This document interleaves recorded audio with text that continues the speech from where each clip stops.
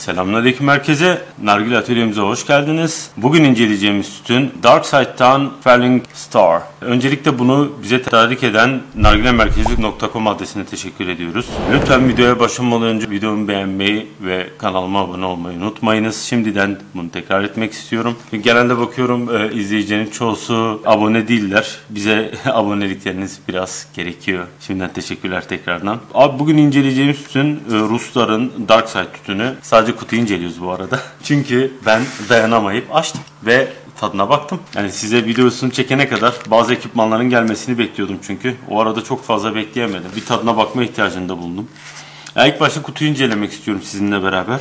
Dark Side'ın zaten her tarafında Rusça yazan bir kutusu mevcut. Şu arka tarafında son kullanım tarihleri, bazı şeyler yazıyor. Onun haricinde bir tane kara kodumuzu görüyoruz her zamanki gibi. Rusça yazan bir bandrolümüz ve hologramımız bulunmakta. Normalde üst taraftan açılıyor bu arada. Ben şöyle bir altını patlattım sırf e, düzgün bir şekilde açabilmek için. Burada iletişim numarası, adres bilgileri ve benzeri şeyler var. Yani kutusu bu şekilde. Yan tarafında ne yazıyormuş? Yan taraf her tarafında Rusça yazıyor abi. Direkt Rusça yani. Evet göstereceğim şey en fazla bu kadar. Haberiniz olsun. Rusça.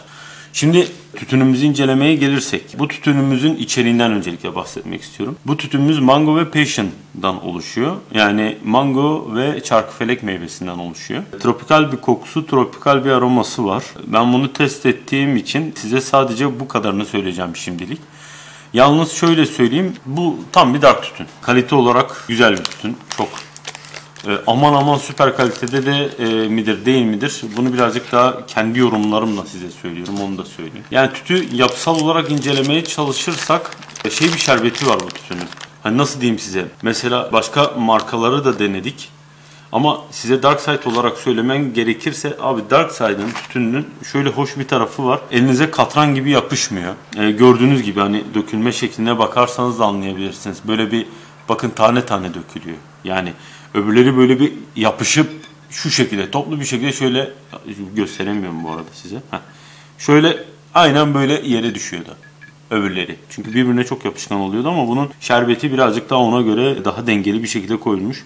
Şimdi siyah olduğu için çöp oranını da çok net göremiyoruz ama elimde tuttuğum hissiyatıyla yani çöp yok gibi bir şey diyebilirim size. Çok hoş bir kokuya sahip, yumuşak ve güzel bir kokuya sahip.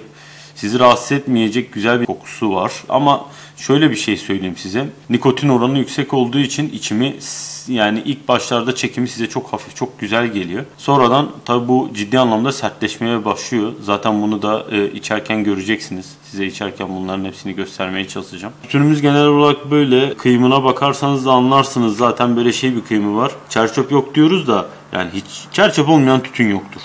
Yani siyah bizim gözümüzden kaçar mı birader? Varsa vardır. Ama az. Çok şey değil rahatsız edecek derecede değil. Garip bir şey söyleyeceğim size. Ben arada sırada tütünlerin ufak da olsa bir tadına bakarım. Özellikle de şu şerbetlerinin bir tadına bakarım. Yani tadına bakarımdan kalsam hafif bir dilime dokundururum. Eskiden bu şekilde bakardık birçok tütüne. Bu şekilde bazı aromaları, bazı şeyleri veyahut da tütün kalitesini çok net anlardık. Hala ara ara yaptığım bir şeydir. Abi şu dark tütünde de ben bunu yapayım dedim ama denemeyin ya. Sakın denemeyin böyle bir şey. Bu arada bu elimdeki de boya değil ha. Hızlı bir şekilde çıkıyor bunlar. Çok çabuk bir şekilde ben bunu çıkartabilirim. Ee, içinden çıkan paket bu arada tekrar göstereyim. Şöyle bir barkod var. Kara kod var daha doğrusu. Güzel bir kara kodumuz var. Ee, üzerine de Falling Star tekrar yazıyor. Bazı son kullanma tarihleri midir nedir? Valla onu net olarak çözemedim ama son kullanma tarihine benziyor. Bazı tarihler var ya da üretim tarihi de olabilir. O şekilde de yapılmış olabilir. Hemen başlayalım yapımına. Geldik şimdi bu arkadaşı doldurmaya. Abi ben dediğim gibi çatalla doldurmayı denedim. Yapamıyorum. Onun için kaşıkla, çay kaşığıyla çok daha güzel doldurabildiğimi düşünüyorum. Bence daha mantıklı. Kendi dolduruş tarzım olduğu için. Ya şu şekilde için bence daha düzgün doluyor. Bana mı öyle geliyor? Bilmiyorum. Az var ya ne yaparsam yapayım o tütüne, şu tütüne dokunacağım yani. Dokunmadan rahat etmiyorum abi. Olmuyor. Değecek yani parmağım bir şekilde. Elim bir şekilde değecek buna. Bu arada ben bu tütünleri kullanırken biraz uzun süreli içmek istediğim için aslında biraz bazen abarttığımı düşünüyorum. Hatta onu biraz şimdi yapmayalım. Bu, bu bile çok Gerçekten çok koyuyorum ya. O da var. Bunu ben farkındayım. Yaptıktan sonra elimle şuralarını şöyle bir düzeltmek daha hoş oluyor bence. Ya şimdi ben bunu birazcık daha fazla da bırakabilirim. Daha az basık da bırakabilirim ama ben bu şekilde içmeyi seviyorum. Onu da söyleyeyim size. Evet. Bu arkadaş da tamam. Hemen nargilemizi bir içmeye başlayalım mı önce? Evet. Gel gelelim bu arkadaşın artık tadına bakmaya. Ya umarım beklediğimden daha iyi çıkacak falan her seferinde söylüyorum ama bazı test ettiğim tütünleri de size bu şekilde tanıtmak istemiyorum. Evet abi ben şimdi bunun tadına baktım. Tadını genel olarak size tarif etmeden önce önce bir içerikte göstermek istedim. Bu arada bu tütünleri çok uzun süre demlendirmeniz çok sizin için bir avantajı olmuyor. Çünkü e, çok bir şey fark etmiyor. Eğer kullandığınız e, benimki gibi bir e, kil lüle ise yani e, ben Alpaka Mini, Minero kullanıyorum. Alpaka Minero kullanıyorsanız bu şekilde çok şey yapmanıza gerek yok. E, uzun süre demletirseniz, demlerseniz sizin için çok bir artı avantaj olmayacak. Çünkü çektikçe lüle ısınmaya başlıyor. Şimdi hatta onu da göstereyim. 10 10 dakika belki birazcık daha fazla sürede demleniyor. Gördüğünüz gibi. Ha şimdi birazcık daha fazla gelir tabii ki ama öyle ilk çekişte çok duman gelmez yani bunlardan.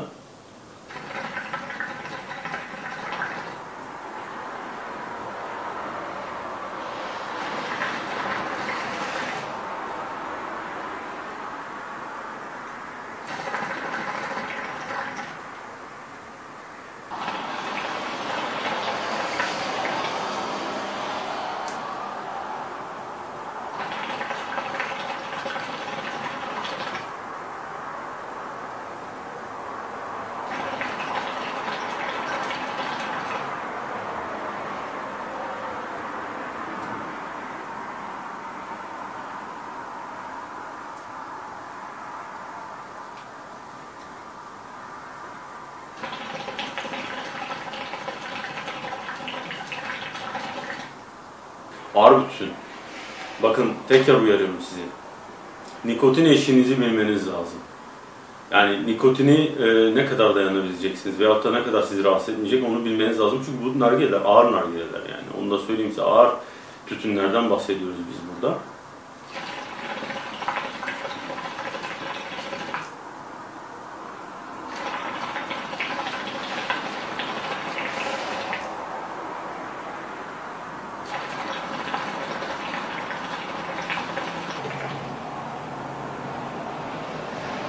Tat olarak çok yoğun değil, aşırı derecede yoğun değil ama ağzınıza hoş bir tat bırakıyor şu anda. Yani o mango tadını alabiliyorsunuz yani onu söyleyeyim. Ve çarkıfelek meyvesinin tadını da gayet güzel bir şekilde alabiliyorsunuz. Mentolü bir tat olmadığı için tatları daha güzel bir şekilde alabiliyorum. Tabii onun da yanında bir nikotin fazlalığı olduğu için bir daha ağır bir şekilde alıyorum.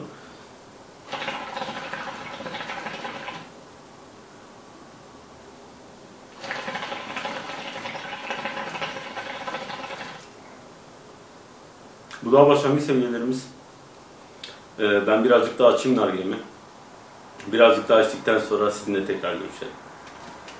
Evet, geldik nargilemizin sonlarına. Yani dark tütün içtiğiniz zaman sonları birazcık uzun sürüyor. Ortalama bir saatten fazla bir süredir ben bu nargileyi içiyorum. E, tütünü çok fazla koydum mu koymadım mı net olarak e, hatırlamıyorum şu anda ama yani ortalama bir seviyede koydum. Daha fazla koyup da daha uzun süre içtiğim de oldu. Ama bence yeterli miktarda hani tadını aldım fazlasıyla. Ee, Daha fazla koyup daha keyifli bir nargile de içebilirdim. Daha uzun bir nargile de içebilirdim ama bu yeterli şu anda. Nargilemizin artık sonlarına yanaşmaya başladım. Onun için zaten provostumu kapattım. Isı kontrolünü birazcık daha düzgün bir şekilde aldım. Şimdi size birkaç kere çekip dumanını da göstermek istiyorum. Şu anki hali ne diye.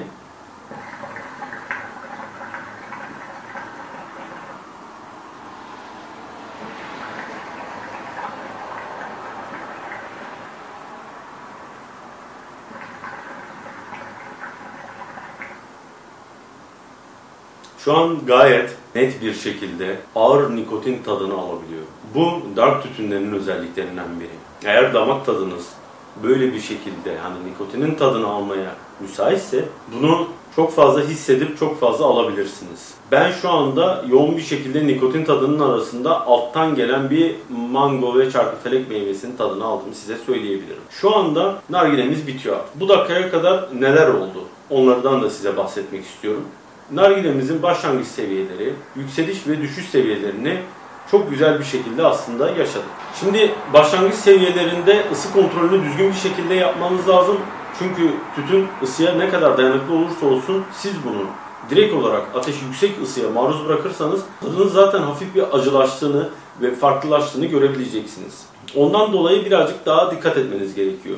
Yükseliş seviyelerinde yine ısı kontrolünü yaparak daha verimli bir duman almaya başladım. Şöyle bir özellik var. Tadı hiçbir zaman çok yoğun değil bunların. Benim içtiğim şu ana kadar Dark'ların hiçbirinin tadı aşırı derecede yoğun değil.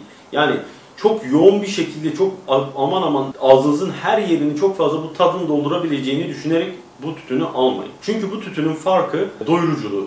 Yani siz bunu içiyorsunuz, içtiğiniz süre boyunca size hafif bir tat gibi gelebilir ama sizi aslında alttan alttan çok güzel bir şekilde doyurabiliyor çünkü nikotin oranı yüksek. Ona göre için bunu. Yani ben içtiğim zaman mango tadını almadım mı? Hayır. Mango tadını aldım.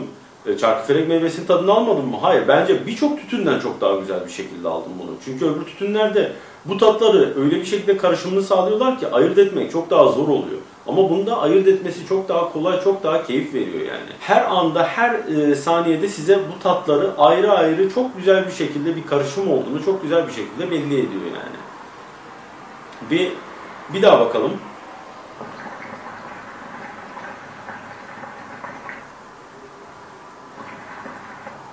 Şu anda tat bir tık azalmış ama sonuna geldik. Sonuna geldiğimiz halde ben hala nikotinle hala bu ağırlığı hissedebiliyorum. Onu size söyleyeyim yani. Şimdi bu tütünü puanlamaya geçelim. Bakın ben size daha önce de söyledim. Ben bunu aromasal olarak da birçok konuda da ben bunu dark tütün olarak düşüneceğim. Ve dark tütünleri biz daha farklı bir skalada, daha farklı bir e, kategoride inceleyeceğiz. Onun için buna dark tütün olarak bakalım. Aroma olarak buna vereceğimiz puan 7. Güzel bir aroma, rahatsız etmeyecek bir aroma, hoş bir aroma. Yoğunluk olarak benim buna vereceğim puan 7. Duman olarak yeterli ve güzel bir duman olduğuna inanıyorum. Ve e, yükseliş seviyelerinde duman çok daha iyi çıktığını söyleyebilirim. Onun için 8 vermek istiyorum. Koku olarak değerlendirirsek kokusu içeride hoş bir koku bırakıyor. Sonuçta mango ve çarkıfelek meyvesinin güzel kokuları var yani. Onun için ben bunun kokusuna da yeri vermek istiyorum. Bence güzel özellikler taşıyan e, güzel bir tütündü. Hafif bir tat aroması gibi geliyor. Ama dediğim gibi içtikçe o yoğunluğundan çok daha fazla siz bunun tadını anlıyorsunuz. Ona göre lütfen tütün değerlendirmesine dikkat edin. Ben de size ona göre tavsiye edip ona göre e, yorumlamayı yapmak istiyorum. Dediğim gibi dark tütünler güzel. Dark tütünler içilmez değil. Siz böyle meyve tadını e, yoğun bir şekilde biz bir atıyorum çilek içeceksin. Yoğun bir şekilde ben bir çilek tadı almak istiyorum. Değil. Yoğun bir şekilde bir şunun tadını almak istiyorum değil. Yani şu ana kadar ben rastlamadım. Şahsen rastlayacağım veyahut da göreceğim başka tütünlerde olacak. Belki içtiğimiz zaman çok daha fazla meyve tadını alabileceğimiz tütünler de olacak. Ama dark tütün özelliğini taşıyan şu nikotin ve yoğunluk oranını e, hiçbir zaman dark tütünün kaybetmemesi gerekiyor. Aslında bunun altın kuralı, altın olayı bu. Dediğim gibi beni doyurdu. İçtiğim zaman mutlu mu kalkıyorum? Evet mutlu bir şekilde e, kalkacağım. Ben nargilemi içtim diyeceğim. Kesti çünkü beni. Yeterince bence iyiydi. Onu size belirtmek istiyorum.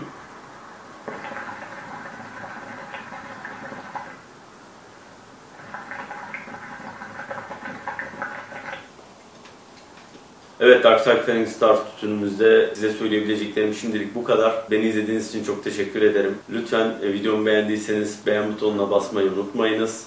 Ve bana abone olmayı unutmayınız. Her zamanki gibi çok daha fazlasını çekeceğiz, çok daha fazlasını göreceğiz beraber. Tekrardan teşekkür ederim. Bol dumanlı günler diliyorum. Unutmayın bir nargileden ve bir dumandan çok daha fazlasıyız.